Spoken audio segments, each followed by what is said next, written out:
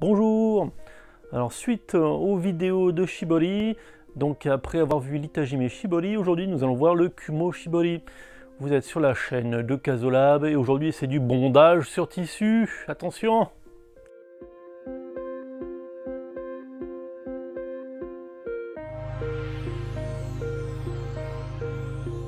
Donc le Kumo Shibori est toujours une technique japonaise en fait de teinture alors cette fois-ci, contrairement à l'Itajime Shibori, le lien est par là.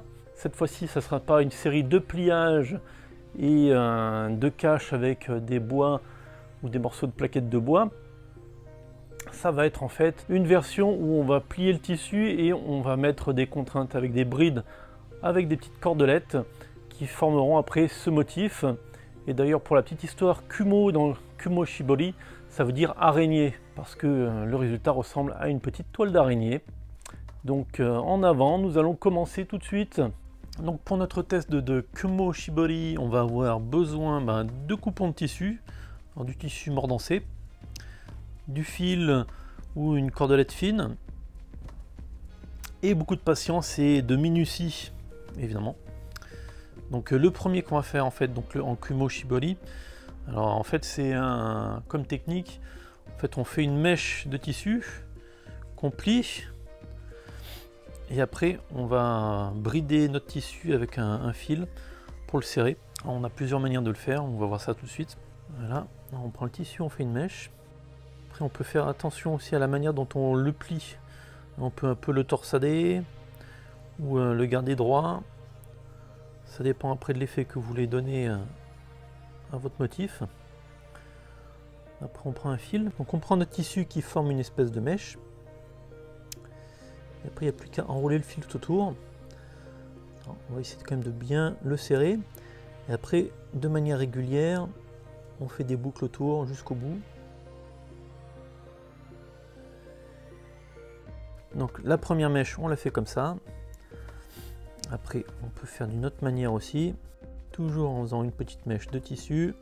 On n'est pas obligé de le faire éloigner de l'autre, on peut les faire en coller les unes aux autres. On reprend, et là ce qu'on peut faire c'est on fait des tours, de nombreux tours bien serrés à un endroit. on se met au milieu de la mèche, on refait une série de tours bien serrés. Et après on va au bout de la mèche et on fait une série de tours bien serrés tout au bout après on fait une boucle pour la refermer. Voilà, comme ceci. Donc voilà, ça fait trois brides en fait à trois endroits différents. Donc on fait trois parties avec des fils et on laisse en fait euh, le reste libre pour que la teinture puisse plus facilement pénétrer. Allez hop, maintenant on va faire une dernière variante. On va refaire sa mèche. On va insérer dedans une bille. Hop. Alors après, soit on laisse comme ça et on fait teindre euh, de cette manière-là, soit après euh, si vous voulez avoir quelque chose de vous montrer, euh, euh, comment dire, avec euh, des parties vraiment blanches et d'autres bien teintées, je vous conseille après de faire des tours en fait. Hop, tout autour. Voilà, comme ça. Donc là c'est, hop, première petite méthode. Hop. Donc la deuxième méthode, ça va consister en fait à faire sur le tissu des petites fronces petit à petit. Et on n'est pas obligé de faire des fronces euh, toutes droites. On peut aussi faire des zigzags ou même se faire un motif euh, dessus euh, le tissu à l'aide d'un crayon ou d'un stylo adapté au, au tissu pour qu'il s'efface après. Et le but du jeu après, c'est en fronçant, on suit tout doucement son motif pour après faire un motif qui sera froncé comme ceci. Bon, après là, je fais un peu n'importe quoi. Hop, après on peut faire là des, tours, des détours. Alors voilà, dès, qu'on a fini tout froncé, on prend un fil et on n'a plus qu'à entourer avec un fil bien serré.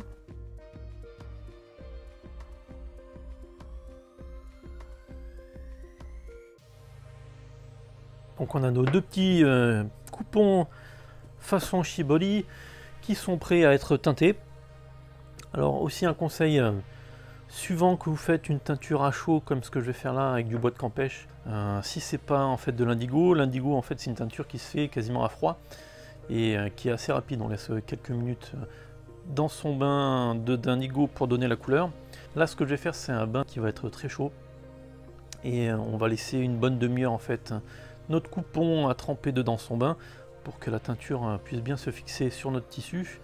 Alors dans le cas d'un bain comme ça chaud où on va laisser longtemps atteindre, il faut vraiment bien bien serrer et bien brider en fait notre tissu pour éviter que la teinture en fait pénètre partout après et euh, vienne après corrompre en fait le reste euh, du shiboli parce qu'en fait c'est une alternance de parties protégées de la teinture et de parties teintes qui vont en fait faire du blanc et de la couleur voire des dégradés et euh, si on ne bride pas assez bien, en fait, toute la teinture va passer dessous et tout le tissu sera teint. Et on aura peu de nuances. Donc euh, bien faire attention, voilà, quand vous faites des teintures à chaud comme ce que je vais faire, de bien brider votre tissu. Quand vous le faites à l'indigo, comme c'est une teinture qui est plus rapide et à froid, ou si vous le faites avec une teinture euh, synthétique qui est aussi très rapide, ça posera moins de problèmes mais avec une teinture avec des plantes qu'il faut faire moins avec une chaleur importante et laisser assez longtemps dans son bain de teinture, il faut bien brider et bien serrer euh, votre shibori sous peine en fait de, risquer de ne pas avoir beaucoup beaucoup de, détails et de motifs euh, qui vont apparaître après. Donc là déjà on va préparer notre bain de teinture. Donc on met à chauffer l'eau. Donc là j'ai fait à peu près un litre d'eau et euh, j'ai 15 grammes de bois de campèche. Comme ça on aura un Shiboli qui sera violet foncé, presque bleu, la couleur de l'indigo. Il n'y a plus qu'à attendre bah, que notre bain de teinture. Bien, donc maintenant notre bain est suffisamment chaud, donc on filtre bien son bain pour enlever les morceaux de bois de campèche. Après, avant de mettre nos tissus, on va les mettre à tremper dans l'eau pour les humidifier. Comme ça, ça les préparera à recevoir la teinture. Hop Et puis ça enlèvera les résidus aussi euh, de mordançage. Donc euh, on les met dans l'eau. Voilà, on les sort. Et après dans le bain de teinture. Alors quand c'est dans le bain de teinture, après on n'hésite pas aussi à de temps en temps bien le remuer pour fouler le tissu et qu'il s'imprègne bien de partout de manière homogène avec le bain de teinture.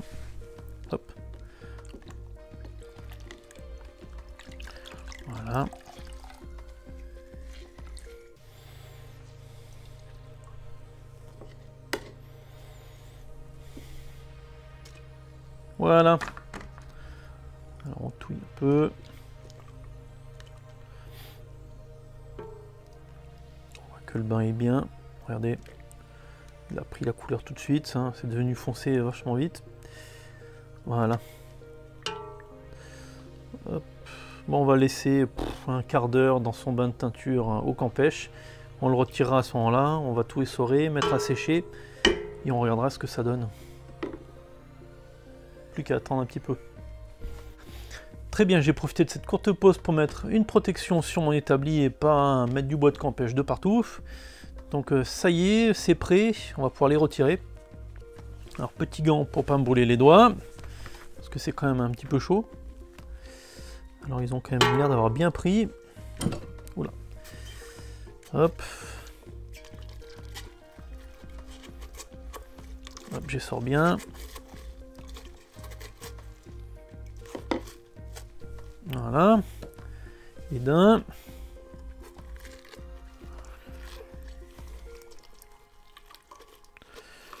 J'espère que ça a réussi. Hum. Et de deux. Alors on enlève les gants, j'éteins le feu. Et on va dépioter ça maintenant, tous ensemble. Ok, alors. Ouh, c'est chaud. Déjà, je peux vous dire, c'est chaud. Alors, ah bah voilà. Déjà, un, ça c'est peut-être un peu d'effet. Peut-être pour ça que ça donne cet espèce. Là, là c'était avec la bille. Et là, alors normalement on peut les arracher comme ça.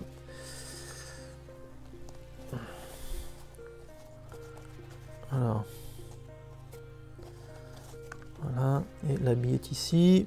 Alors il y a pas mal de trucs dessus. J'avais mis beaucoup de fils. Il s'est un peu emmêlé. Il C'est même beaucoup emmêlé.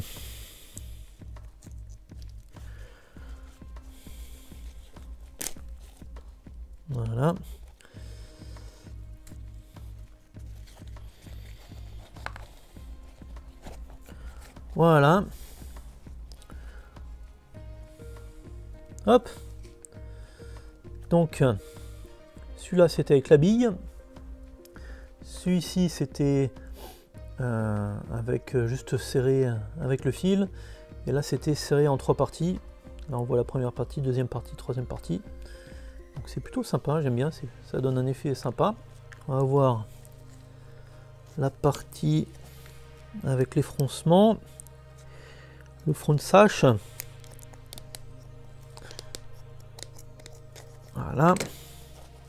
Hop. Là, c'est la partie qui a été froncée. Voilà, et ça rend aussi super bien, je trouve. Hop. Donc après on peut combiner euh, les deux, en faire un défroncement, plus dedans après quelques mèches de Kumoshiboli. Et euh, voilà, l'effet rend très très sympa, moi j'aime bien en tout cas. J'espère que vous aimez aussi. À vous d'essayer. Donc maintenant il n'y a plus qu'à faire sécher et laver. Donc avant de s'arrêter, on va faire un dernier test. On va faire une espèce de petite variante de Shiboli.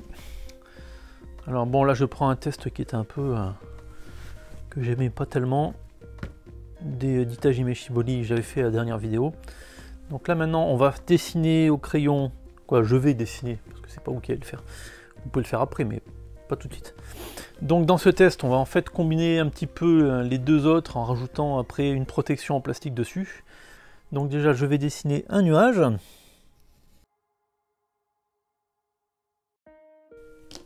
Après ce que je vais faire en fait c'est que je vais froncer surtout le pourtour du motif, le brider et après mettre un plastique pour cacher une partie en fait du tissu et qui reste blanc.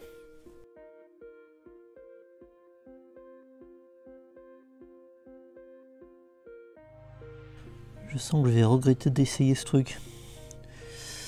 Voilà, comme ça. Hop, et après, on va réunir tout ça là. Après, essayer de refaire un fronçage sur ce truc-là, sur cette ligne.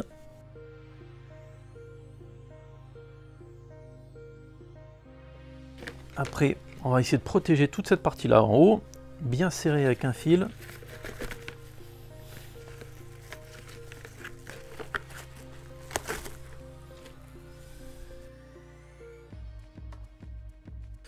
Ça faire quelque chose, mais ça n'a peut-être pas une forme de nuage. Alors vous mettez en commentaire d'après vous, est-ce que ça a fait un nuage ou pas? Ok. Bon. On va tenter. Hein. Maintenant que ça y est, on va jusqu'au bout. Ah, peut-être un peu de mouillage quand même. Allez, on va mouiller la base du tissu.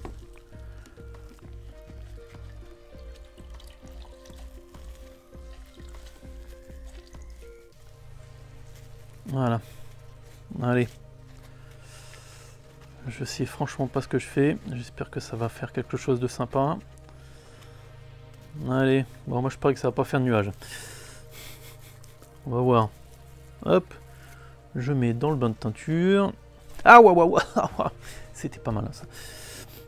Bon, bon, on se revoit dans un petit moment pour voir comment ça se passe. Est-ce que j'ai réussi à faire un nuage ou pas? Oui, mystère. Bon ok, maintenant on va le récupérer. C'est resté suffisamment longtemps dans le bain de teinture. Ah, mystère, qu'est-ce que ça donne Alors...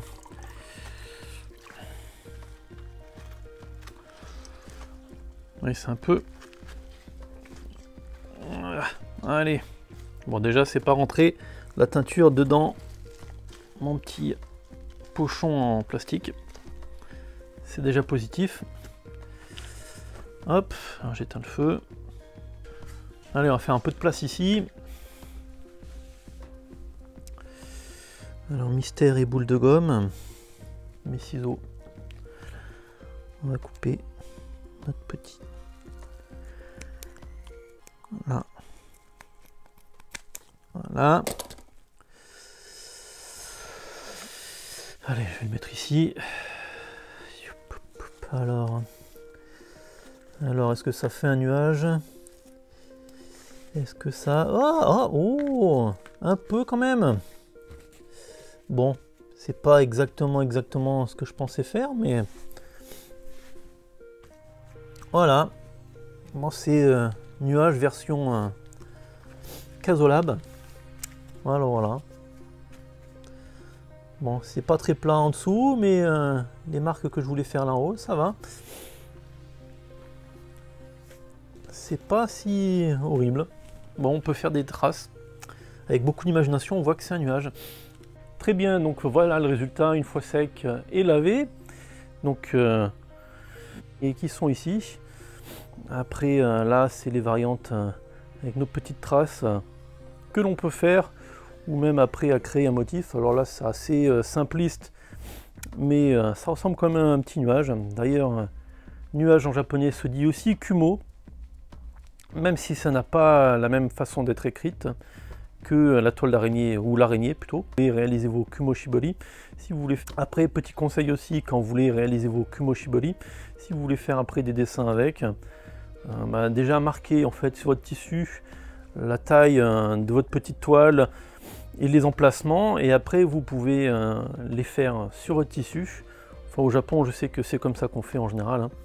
Sur notre grand tissu on marque après au, avec un crayon hein, qui s'efface au lavage les emplacements où on veut faire en fait euh, notre dessin et après euh, tranquillement on, on bride tout, toutes les parties qui sont à atteindre ou justement à faire nos réserves de couleurs et après, on peut passer donc à l'étape de la teinture. Donc ben, j'espère que cette vidéo vous a plu et que vous avez réussi à la regarder jusqu'au bout. Je sais que je reçois régulièrement des plaintes comme quoi ça dure trop longtemps. Mais bon, comme la teinture, eh ben, les explications doivent prendre leur temps aussi pour bien comprendre et vous laisser bien voir comment ça se passe. Moi, je ne suis pas trop du genre à faire des vidéos super rapides. Après tout, on n'est pas sur TikTok, on est sur YouTube. Donc, euh, voilà. Alors bah, n'oubliez pas de partager cette vidéo, mettez un like, abonnez-vous aussi, c'est très important. Et allez voir nos réseaux sociaux comme Instagram, Twitter et Facebook.